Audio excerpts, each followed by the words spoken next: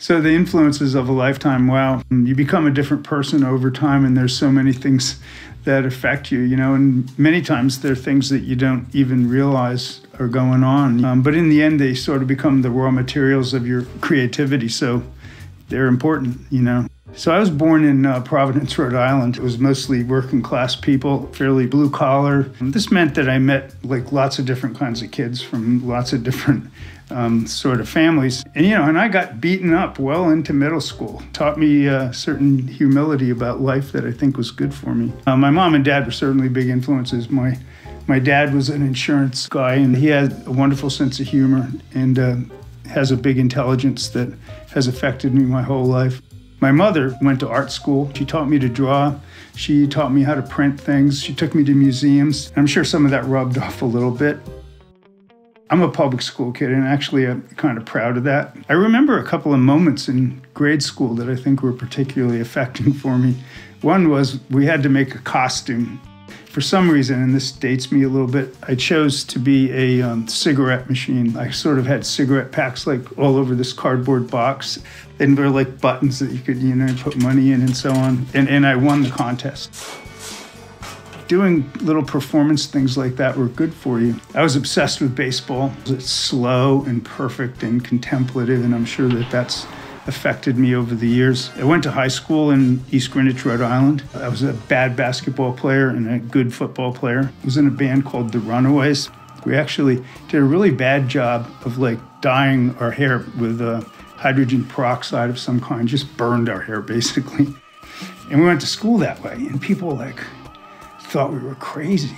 And I suddenly realized that being a little bit different, not too different, was, was a good thing. You know, I had friends that liked to go out at night and perform vandalism, small acts of vandalism, like breaking pumpkins and waxing windows and stuff. And we actually one night tied Mr. Mistretta's bumper to a downspout on his garage.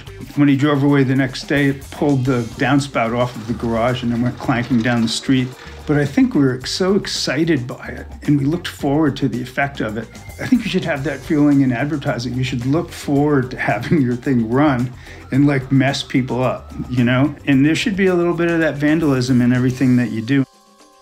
Somehow I got into Harvard after all that. Uh, that was sort of a mediocre English student. I did one day go to Widener Library and start looking at design magazines. And I noticed these advertising things that were being done mostly at an agency in New York called Doyle Dane Bernbach by people like Phyllis Robinson, who was the most terrific writer of the time, and um, Helmut Krone I looked at their stuff, like the Volkswagen, you know, Think Small campaign, and I went, wow, this is this is the way that people think when you talk to yourself inside your head. You know, it wasn't dishonest, it wasn't selling you anything, it was real. And I thought maybe it's an interesting business to be in. I didn't really think I'd ever go into it.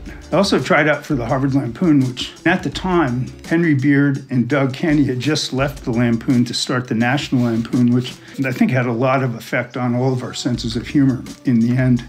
And the people that were with me on the Lampoon like Sandy Frazier and Jim Downey, who went on to be the head writer at Saturday Night Live, took that sense of humor that was sort of invented at the Harvard Lampoon and took it forward to the National Lampoon and then to Saturday Night Live in many ways. And that certainly affected me in the kind of sense of humor that I have. Fat, drunk, and stupid is no way to go through life, sir. After school, I started working at the Peabody Times, small um, suburban newspaper I had to write a lot of stuff and I had to write it fast. I had to like file three stories a day. I'd be write them in the middle of a room of people with clacking typewriters everywhere and talking, and somebody would be doing a movie review here, and somebody would be talking about the date sex that they had last night, and you still had to like write about the thing that you were writing on, and you had to get it out. I think that's actually been very valuable to me over time. I can write on deadline, and, and you know, a lot of times my my best ideas come to me really quickly. And if they don't come quickly, sometimes they don't come at all. Around that time, I started drawing for the Peabody Times. Um, they were also noticed by another newspaper, the Boston Herald American, and I started drawing for them and particularly for their Sunday magazine. I didn't really think there'd be any future in drawing much. Um, I was really thinking of myself as a as a journalist. You know, I, the new journalism was was all the rage. Woodward and Bernstein had just made Nixon retire. I loved that kind of writing. I loved Tom Wolfe and Norman Mailer and Truman Capote, Hunter S. Thompson. They all made journalism personal. You know, they didn't worry about the truth or something. They were doing something that was their point of view, what they saw, what they felt. So I began to follow Hunter Thompson in Rolling Stone, and the guy that always illustrated him was Ralph Steadman, this British guy, just a crazy illustrator. And and I started to go, I love this kind of illustration. I wonder if I could do this as well as the writing thing. So I started thinking about that and I started studying Ronald Searle at the New Yorker. And a really big thing that affected me at the time was a thing that they they called the op-ed page, which was opposite the editorial page, and there were drawings on that page that I thought were just amazing.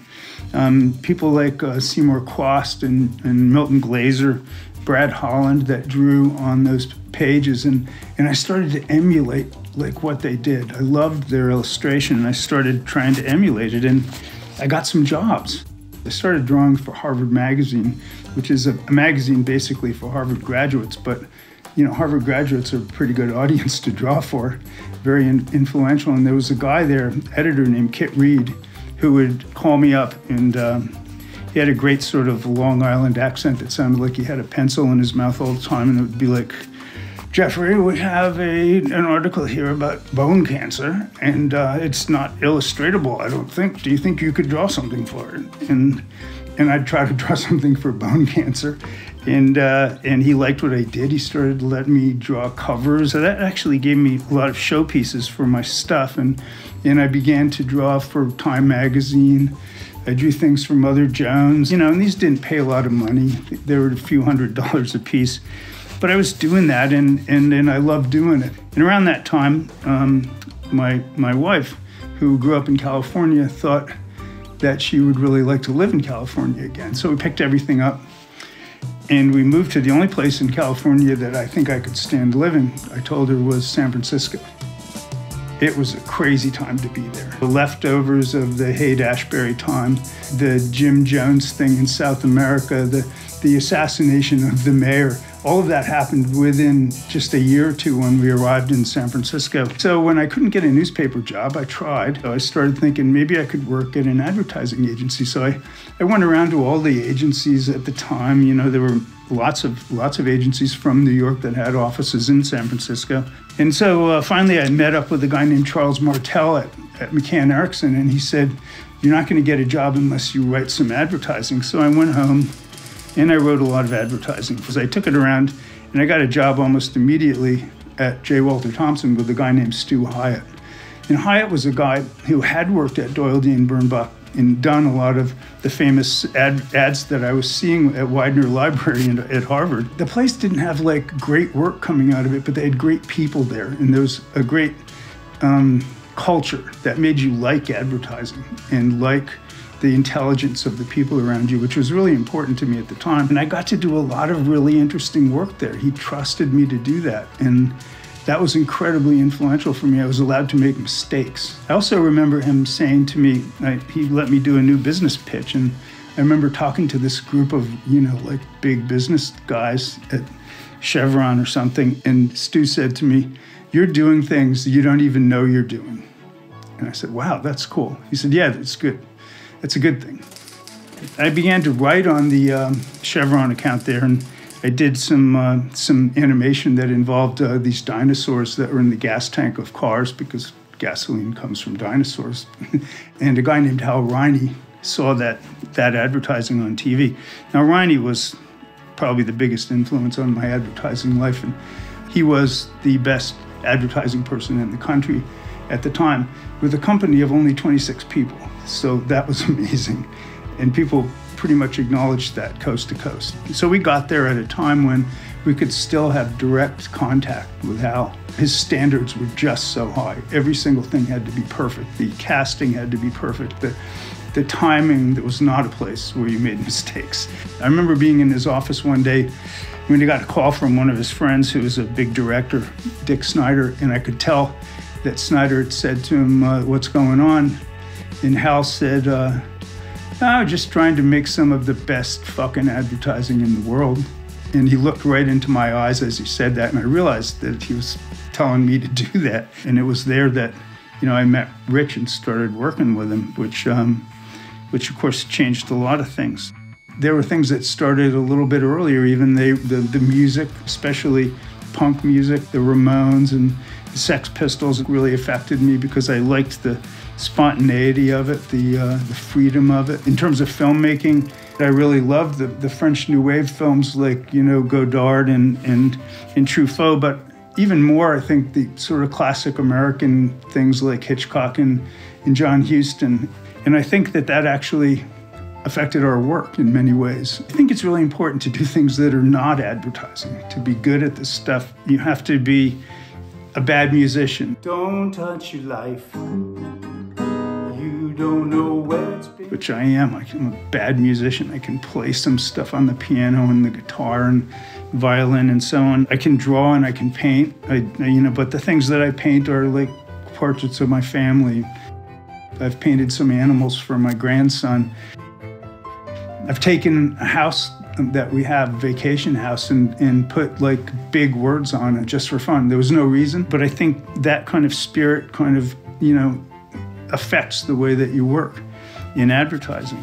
You know, I have uh, season tickets to the Warriors and the San Francisco Opera. Those are helpful things. Those influences are important to keep going in your life. I have a little tequila company. It makes me think about something other than what my job is. Finally, you know, there's there's the having a family. You know, my wife Jan and my kids, um, Nina, Grace, and Nat. You know, they're an amazing influence for me and a, a sort of a grounding and and a sense of humor and you know and sense of not being too important. It's all like a big gumbo of your life basically. You know you got to have a sense of humor you know.